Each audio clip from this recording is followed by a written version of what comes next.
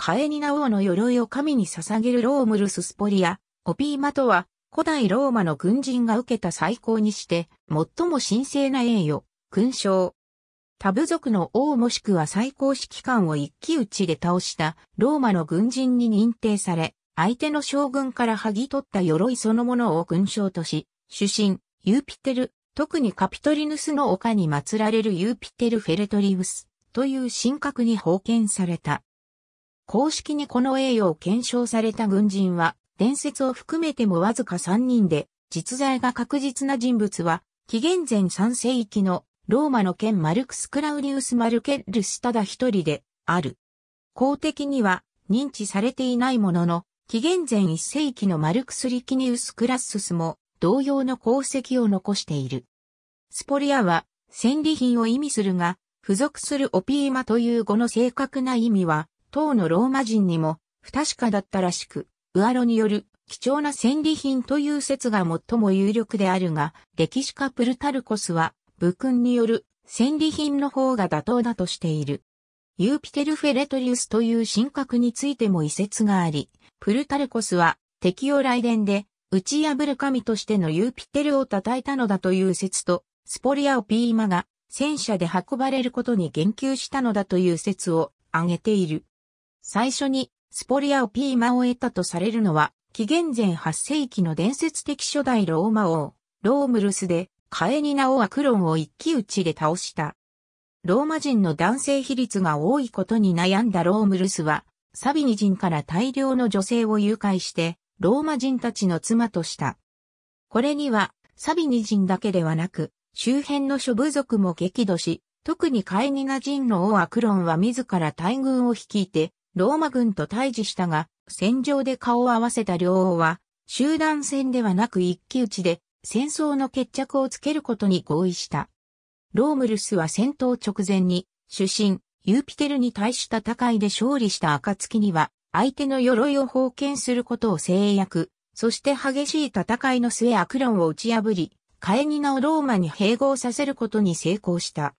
ロームルスは制約通り、アクロンの鎧をカピトリヌスの丘の聖なる歌詞の木に結びつけて勲章とし、これをスポリアオピーマと呼んで、以降、シシソンソンまでローマ人が敵の将軍、または王を破り戦利品を得た際には、ユーピテルに捧げることを宣言した。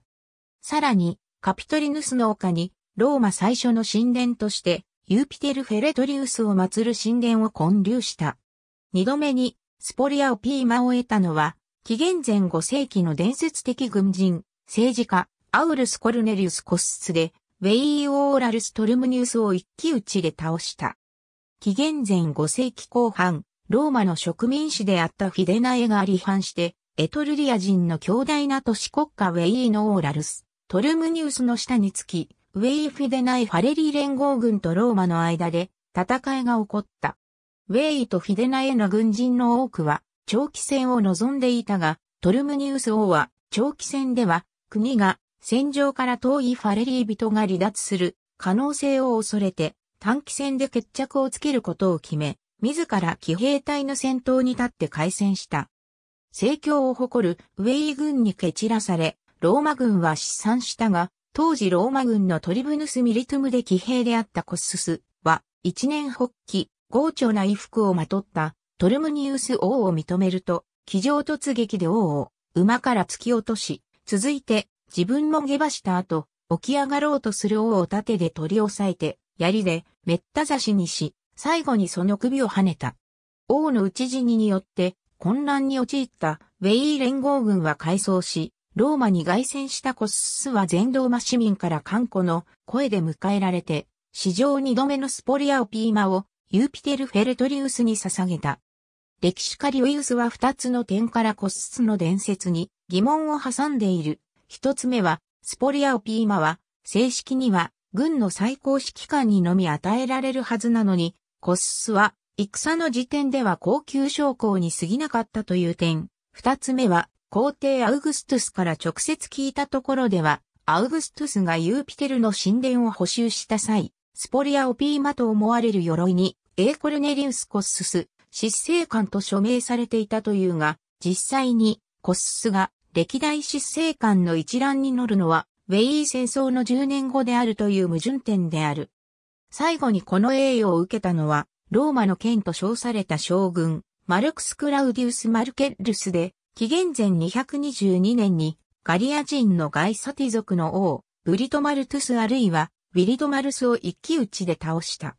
紀元前225年、インスブリア族を中心とするガリア人の集団が第一次ポエに戦争直後で疲弊しているローマに宣戦布告したが4年間の戦いの末、紀元前222年に降伏した。当時の執政官は和平を受け入れようとしたが、将軍マルケルスは徹底追撃を主張。この意見は元老院に受け入れられ、同僚グナウス・コルネリウス・スキピオカルウスと共に執政官に任命された。ところが、その間に、インスブリア族は、近隣の強力なガエサティ族を味方につけ、総計3万という大軍でポー川北辺のアケライシュに進軍していた。マルケルスは、ローマ軍の大半を同僚に預けアケライシュを防衛させるとともに、自身は少数の手勢を軽装にして引き連れ、速やかにガエサティ族の手勢1万が駐留するクラスティディウム村に向かった。ガエサティ軍は、ローマ軍が数でも質でも劣ることを侮り、ブリト・マルトゥス王を先頭として一直線に突撃したが、マルケルスはそれを逆手に取り、自分自身を軍の中央に置いて、おとりにしつつ、騎兵を両翼に散開させて、ガエサティ軍を攻撃した。ちょうど戦場の中央で対面する陣容となったマルケルスとブリト・マルトゥスは、その装備から互いに軍団の指揮官であると認め合い、一騎打ちを挑んだが、最初の一号で、マルケルスの槍は、王の金銀で刺繍された鎧を貫き、落馬した王にさらに二度の攻撃を加えて絶命させた。この勝利が決定打となって、対ガリア戦役は大勝に終わり、マルケルスは史上三度目のスポリアオピーマの保持者として絶大な賞賛を持ってローマに凱旋帰国、伝承に従ようの鎧を菓子の木に巻きつけて、ユーピテル・フェレトリウスに封建した。この戦いで猛将としての評価を不動にしたマルケルスは第二次ポエニ戦争でも起用され、科学者アルキメデスの発明品で守られた難攻不落の要塞シラクサ市を陥落させた。さらに、カルタゴの地将ハンニバルと互角の戦いを繰り広げたが、勇猛さがあだとなり、紀元前208年、偵察中に戦死した。なぜか公的には認知されなかったものの、歴史家、カッシウス・ディオによれば、紀元前1世紀の政治家、軍人マルクス・リキニウス・クラッススも、紀元前29年に、スキタイ人の一派バスタルナエ族を野襲し、その王デルドを一騎打ちで倒したという。カッシウス・ディオは、クラッススがスポリアオピーマの栄誉を受けられなかった理由として、彼が当時、軍の最高指揮官ではなかったことを挙げているが、それはコシスも同様なので疑問が残る。ABCDEFG リウィウス、ローマ建国史、第一巻第10章、ABCDEFGHI プルタルコス、対比列伝ロームルス伝 ABC カッシュースディオ、ローマ史、第51巻、第23から24章、ABCDEFGHIJ プルタルコス、対比列伝マルケルスデに ABCDEF、リウィウス、ローマ建国史、第4巻第17から20章 AB リウィウス、ローマ建国史、第20巻概要。ありがとうございます。